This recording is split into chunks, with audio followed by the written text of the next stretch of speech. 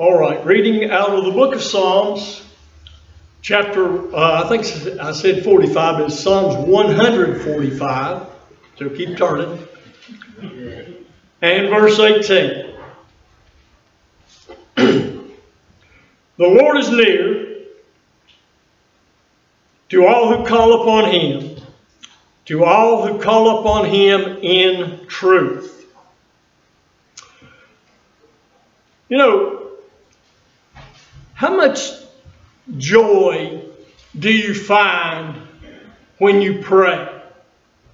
Or do you even think about finding joy in prayer?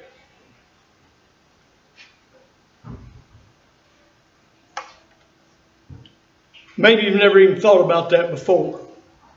But, you know, as a nation,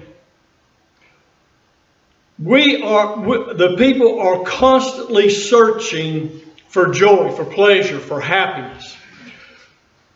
On average, according to one study, an American spends $1,399 on entertainment. Now, if you're between the ages of 35 and 54, that goes up to $1,610. The average American spends $297, almost $300 a month to be entertained. One study said the average American spends approximately um, 30% of their monthly income on entertainment. Recreation expenditures include membership for clubs, parks, theaters, sports centers, gambling, and other related services. And over the last five years, going up through mid 2024, America has spent $624.4 billion seeking pleasure on being entertained. Why do we want to be, be entertained? Why do we want to be happy? Well, we, uh, you know, it, it's amazing how we always tend to believe that the grass is greener on the other side. Uh, I, I, had a picture one time of a cow, and I can't find it. I don't know what I did with it, and I searched to try to find it again. But the cow was standing on a woven beside a woven wire fence. And he had his head, body on one side, his head went through the fence, and then went back through the fence. So he was eating on the same side where he was standing, but his neck was stretched through the woven wire fence. And that's the way we are. We always think we're going to find joy somewhere else, and when we get there, it's always on the other side. It's somewhere else other than where we're at. We are so easily bored in life. We're always searching for something new. No matter what we have, we want something more. We want something different. It, we're never satisfied with what we have. But do we think about finding joy, spending time with God? Probably don't think about that. When life is good, it's easy to be happy. But the problem is, life is not always good. Life happens. And when things happen, when things don't go our way, when problems and troubles arise, does it steal our joy? It should. Our joy shouldn't depend upon our situation in life. Amen. Many times we become discouraged. We're ready to throw in the towel, ready to give up, or ready to quit. I thought about Abraham. Remember the story of Abraham Lot ends up down in uh, uh, Sodom. Things are not going well down there. Uh, the city is kind of like America today. it's in shambles. Everything is going against the will of God. And God decides that he's going to wipe them off the face of the earth. And Abraham's a little upset because his nephew is down there. And so he goes down to God and he begins to plead with God. God and he says, God, are you going to destroy the whole city? What if I can go down there and find 50 righteous people? God said, okay. If you can go down, God knows all things. He knows He's not going to find 50. He says, if you can find 50 righteous people, I'll spare the city. Now, maybe Abraham thought God gave in too easy. Maybe we better try again. What if I'm five short? Okay, if you can find 45 people. Maybe Abraham said again, that's too easy. What about 40, God? What about 30? What about 20? What about 10? And each time God said, okay, if you can find that many righteous people, I'll spare the city. And I don't know finally if God, at, the, at that point, God said, okay, Abraham, enough's enough. But Abraham didn't get discouraged. He kept going. He kept bargaining with God. Because he, he didn't want his nephew to lose his life. He wanted his nephew and his family to be safe. So, so he continued going on the fight. the Bible said, and the Lord went his way as soon as he had finished speaking with Abraham, and Abraham returned to his place. He was content to go back home. He was happy because he had had his conversation with God, and he believed that the city was going to be spared if God could find these righteous people, even down to 10. Because we know that God wasn't able to find uh, that many people uh, in there. Life's not always good, and sometimes it doesn't go our way. But Abraham, he was concerned about his nephew, and he knew that he had done his part in preserving his nephew's life. The story of Abraham, when he, as he talked to God, it should give us hope in our life. Because if Abraham would receive this answer from God. If God would deal and bargain with Abraham in a method such as this, would he not also deal with us in the same way? Bible says God's no respecter of persons. The dictionary says hope is a feeling of expectation, a desire, or a wish for a certain thing to happen. In the Bible, in the Greek or the Hebrew language, depending on which one, which scripture you're looking at, it says hope is an expectation with certainty that God will do what he has said. God will do what he has said. The problem in life is this. We have a tendency to bring God down to our level. What happens?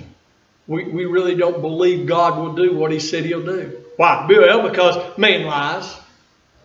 Man makes mistakes. Man doesn't always follow through. Man fails. He forgets. He disappoints. He doesn't always fulfill his promises. And because we have brought God down to our level, we think the same thing's going to happen to, towards us with God.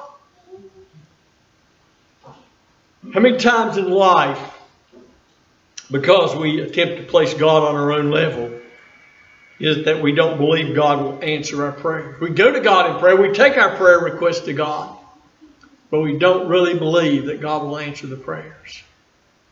Because again, we place God on our level instead of realizing that God is not on our level. He doesn't think like we think. He doesn't act like we act. God cannot lie. God will not disappoint. The writer of Hebrews in Hebrews chapter 6 said, Thus God, determining to show more abundantly to the heirs of promise the immutability of his counsel, confirmed it by an oath that by two immutable things in which it is impossible for God to lie, we might have strong consolation who have fled for refuge to lay hold on the hope set before us. This hope we have as an anchor to our soul, both sure and steadfast, which enters the presence behind the veil, where the forerunner who entered before us, even Jesus, having become high priest forever, according to the order of Melchizedek. God who cannot lie. When God gives us a promise, it's a promise that will be fulfilled. Knowing that we can enter His presence should bring joy into our lives. James said in James chapter 5, he said, Is there any among you suffering? Let him pray. Is anyone cheerful? Let him sing songs. Is anyone sick? Let him let him go, call for the elders of the church and let them pray over him, anointing him with oil in the name of the Lord. And the prayer of faith shall save the sick, and the Lord will raise him up. And if he's committed sins, he'll be forgiven. Is anybody suffering among you? Now, that could be a physical suffering, a mental suffering, any type of suffering at all. Is anybody suffering? He said, let him pray. Talk about praying for the sick. The word sick in the Greek language in that scripture literally means faint, weary, to toil. It means to exert strength with pain and fatigue of body or mind, particularly of the body, with effects of some continuation or duration. To endure something for a long period of time. Are we enduring hardships in our life? The Bible says pray is what James tells us. When these things happen, pray. We talked about this recently. When we take time to enter into God's presence, remember we talked about this. When, when, when Jesus died on the cross and the veil of the temple was ripped in two, the separation between man and God was put to an end. And you and I have the privilege, the honor of entering directly into God's presence. Amen. To stand directly before God. And there is joy in the presence of the Lord. We should find that joy in our lives. Uh, studies, numerous studies have been done in the medical profession uh, of dealing with people who are sick and people having people praying for them. And, and it's been proven that people of faith heal faster than people who claim to have no faith whatsoever. People who have people praying for them recover quicker and better than people who have no faith at all, who claim no religious uh, affiliations with any group. That's why we need to be praying one for another.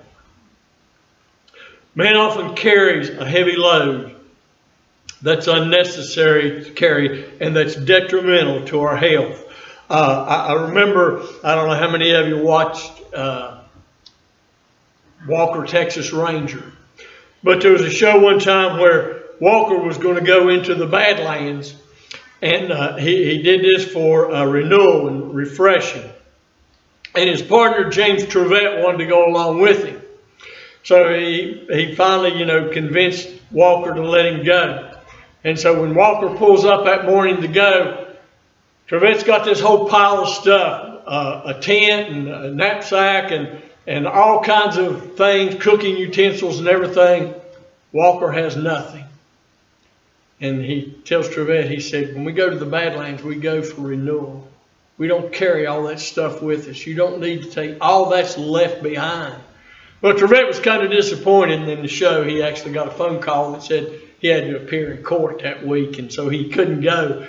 And he was he acted like he was disappointed, but he was relieved because he wanted to carry all his baggage with him. Walker knew that when you go for renewal, you don't carry the baggage with you. You leave it behind. You go alone. And that's what we have to do in life. We have to learn to, as the scripture says, cast all our cares uh, on, on the Lord. The Amplified Bible, I don't know how many of you are familiar with the Amplified or have a copy of it, but what the Amplified Bible does, it takes the scripture and it adds other words to the scripture based on the Greek or the Hebrew language because when you look up, just like you look up in one of our English dictionaries, you look up the definition of a word, and sometimes there's more than one definition. So what the Amplified Bible does, it takes some of the other words that could have been used in the translation and adds them into the scripture. That scripture out of 1 Peter 5 and 7 in the Amplified Bible says this Cast the whole of your care, all of your anxieties, all of your worries, all of your concerns once and for all on Him, for He cares for you affectionately and cares about you watchfully. God cares about you more than you can ever imagine. And He wants you to cast your all upon Him. Not part of it, not some of it. Psalms 55 22 says, Cast your burden on the Lord, and He shall sustain you, and He shall never permit the righteous to be moved. Do we cast everything upon Him? In Psalms 55 22, in an earlier verse, he said, verse 16, he said, As for me, I will call upon God, and the Lord will save me. Evening and morning and at noon I will pray and cry aloud, and he shall hear my voice. He has redeemed my soul in peace from the battle that is against me, for there are many that are against me. David said, I will call, and the Lord will save me. Evening, morning, noon throughout the day, I can call upon the Lord. You know, there's no set time that we have to pray. You know, I've got to get up at 5 a.m. and pray because that's the only time God's available. God's available all day long. Amen. And we have the privilege of going to Him in prayer. And it said, I will pray and He will hear my voice. Yeah. You know, we seem like in life we find more joy in winning than in losing. We talk about being a good loser, uh, but we all like to win. Matter of fact, Vince Lombardi, the famous football coach of the Green Bay Packers, said, Show me a good loser, and I'll show you a loser. Uh, he was also quoted as saying, Winning isn't everything, it's the only thing. But later he said he was misquoted or he misspoke. And he said what he meant to say was, Winning is not everything, the will to win is the only thing. And we should always have that will to win, that desire to win. Uh, sometimes we say we're just playing for fun, and that's usually when we're losing.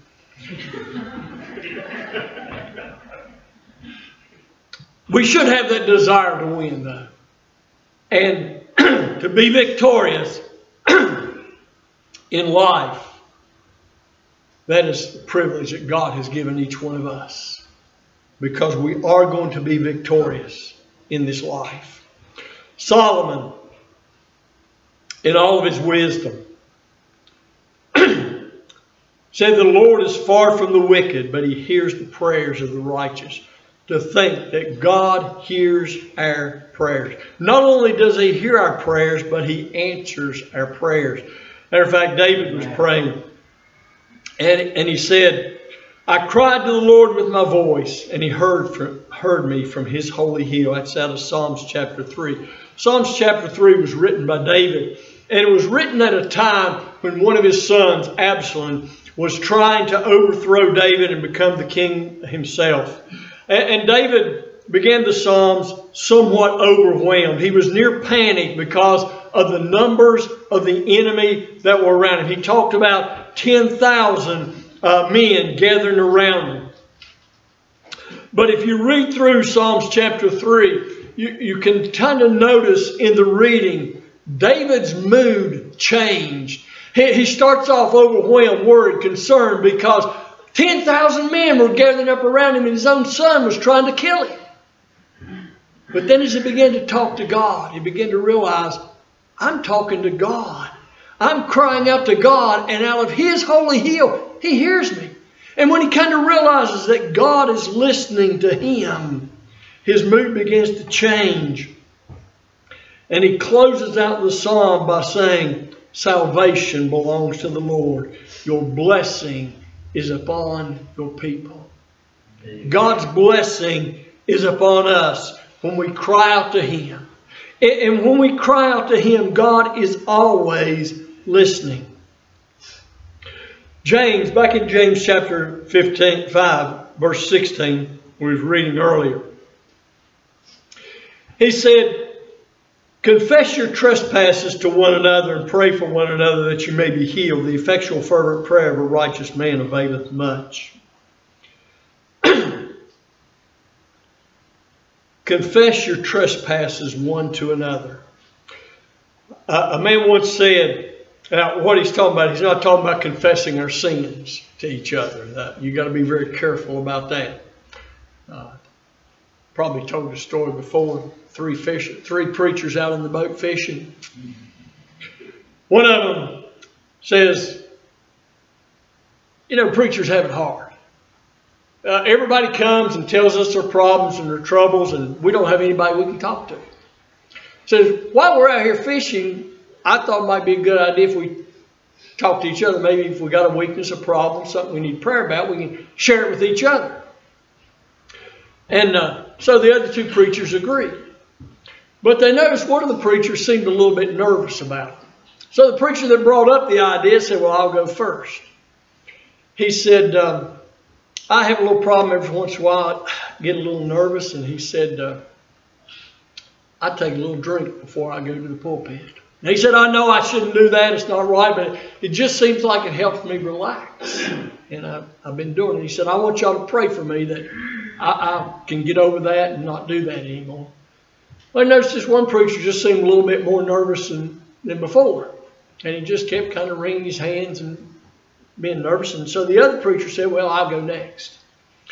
He said, uh, I, I've got a weakness too. He said, As I'm preaching, he said, sometimes he said, I'll look out and he said, I'll kind of get focused on some beautiful woman in my congregation or something. Maybe some thoughts will go through my mind that shouldn't. And he said, I know that shouldn't happen. He said, I want y'all to pray for me and, and help me to get over that. But this time, a third preacher, he's just shaking, he's all to pieces. And so the preacher that brought this idea up said, "Look, brother, if it's going to make you nervous and you don't want to share, you don't don't you don't have to share." He said, "I just thought it might help us." He said, "You just pray for us." And the third preacher said, "Oh no, I, I don't mind sharing at all." He said, "My weakness is gossip, and I can't wait to get back to town." you got to be careful who you confess things to. But that's not what he's talking about here. When he's talking about confessing your trespasses or confessing your faults one to another, he's talking about if you have aught with a brother. You need to go to that brother or that sister and make sure you straighten things out and pray one for another. That you'll get everything uh, held out. You know, sometimes we hold a grudge. One man said holding a grudge is like drinking poison and expecting your enemy to die. It doesn't help you to hold a grudge to have unforgiveness in your life. But we should, our response should always be pray. And he says, pray for one another that you may be healed. And that's both physically and spiritually. Our greatest joy should come when we pray for others. When we lift up Amen. other people. Paul in Galatians chapter uh, uh, 6 verse 2 said, Bear ye one another's burdens and so fulfill the law of Christ uh, if we're lifting up one another, if we're praying for one another as we should, it should bring joy into our lives and lift us up to know that we're doing something. You know, uh, uh, Americans are, are notorious for living for self. And, it, and some of our greatest joy comes when we help others, when we do for other people and we forget about ourselves. Paul wrote in the book of Colossians,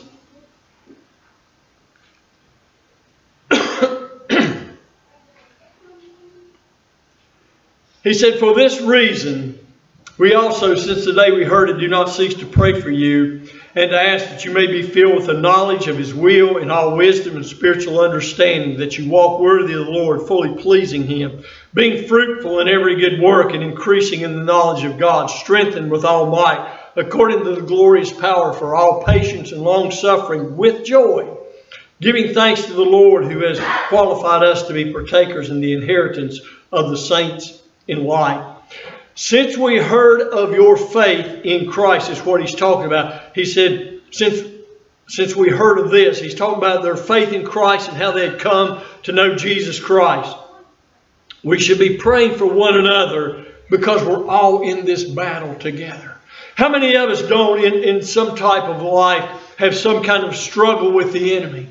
Whether it's a, physical illness that we're dealing with or whether it's a, a spiritual battle that we're going through, you know, and we don't know who the enemy is coming after. You know, today he may be attacking me, tomorrow it may be you. And we need to be lifting up one another. You know, every time we come together, whether it's Sunday morning or Wednesday night, anytime we gather together, we always take time for prayer requests. And we need to try to remember, God, God remembers every name that's mentioned. But we need to try to remember those needs and those requests and pray for one another. We need to remember, uh, particularly our brothers and sisters. You know, we talk about when you join the church, we're, we're part of a family. And, and, in our Constitution, we say that we will support one another. We'll support physically with our presence, spiritually with our prayers, financially with our offerings. And, and we need to be praying for one another every day. Look around, see who's in the crowd, see who's in the church, know the people in the church, and be lifting up one another every day. I thought about Job. You know, Job had a, a, a a rough time in life for a short period of time. And he had some great friends. Friends you don't need. They came to Job and they said, Job, things like this don't happen to righteous people. Confess your sins and God will forgive you and he'll take all this away from you. Job said, I haven't sinned. I, I, I am one thing that I'm going to do, he said, I'm going to remain, retain my integrity even if I die in this condition. Even his wife came and said, Give it up, Job, you're sin. But Job held on, never turned against God, never, you know, they finally just said, Curse God and die. Job said, No, I'm going to re retain my integrity. I'm going to live for God no matter what happens to me in this life. And the Bible said in Job 42.10, it said, And the Lord restored Job's losses when he prayed for his friends. Indeed, the Lord gave Job twice as much as he had before.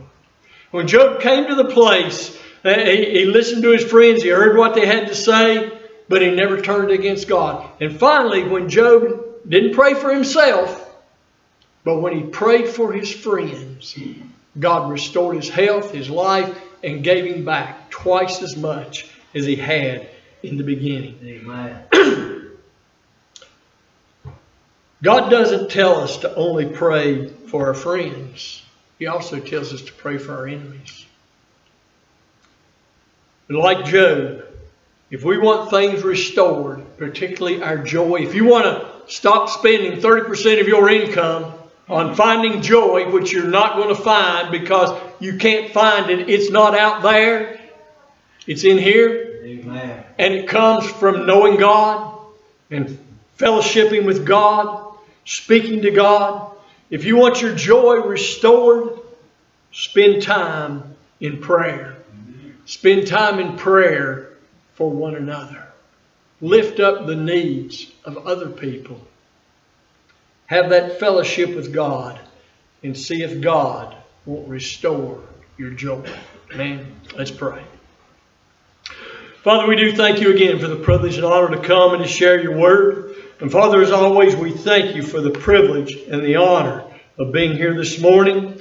And Father, we pray this morning as you speak to hearts and lives, Father, we pray this morning that your word has come forth as you would have it to be brought and delivered, and we pray that that word has touched our hearts and that our lives will be forever changed. Father, we pray this morning that you minister to every need that's represented here this day.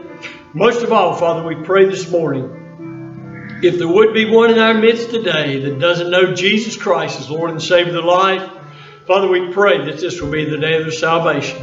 Help each one of us, Father, to hear your voice, to respond in a manner that would be pleasing unto you. And Father, as always, we'll give you the praise, the glory, and the honor for it all, for we ask it all in Jesus' name. Amen. Amen. I ask you to stand with me this morning as we close.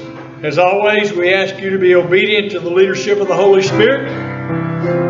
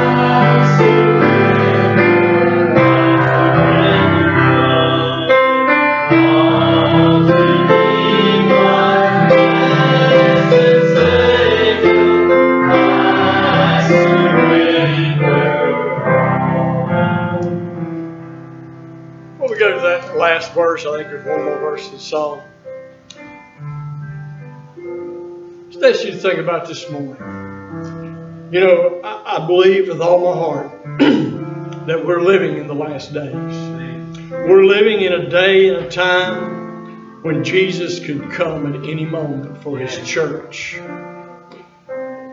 And, you know, we, it's been some time back now, uh, we went through the book of Revelation.